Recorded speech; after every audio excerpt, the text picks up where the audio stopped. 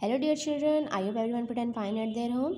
Yeah okay so today we will going to revise for your second term exam. And today's turn is english. English okay? So take out of your english copy okay? Firstly take out of your english copy okay? And open it okay? So firstly mention the date okay?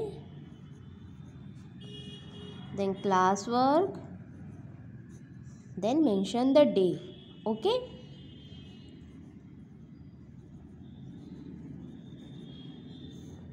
Mention the day okay?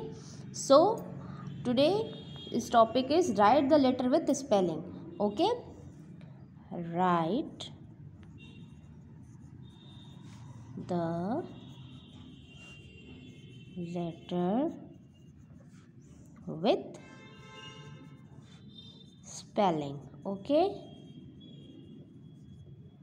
okay so आपको A to Z होता है, ठीक है? A to Z A for apple apple की spelling क्या होती है? A double P L E okay like this आपको जी टू ओ ओके मैं आपको जी टू ओ दे रही हूँ ओके okay? आपको क्लास वर्क करना है देन आपको होमवर्क भी वही करना है ओके सो जी टू ओ आपके सिलेबस में जी टू ओ आएगा, okay? So G G for grapes so G R A P E S like this आपको लिखना है। Then H H means hen H E N hen okay? Like this आपको लिखते हुए letter and spelling okay G H I J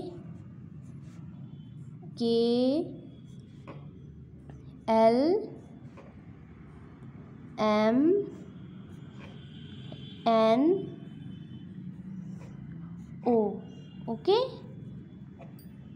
in your syllabus G to O okay so आपको G to O letter with spelling आपको लिखना है। ये आपका class work भी होगा और ये आपका होमवर्क भी होगा होगा okay so you will write it and send me to school WhatsApp number okay so do you homework and class work also and we will meet soon in next class okay bye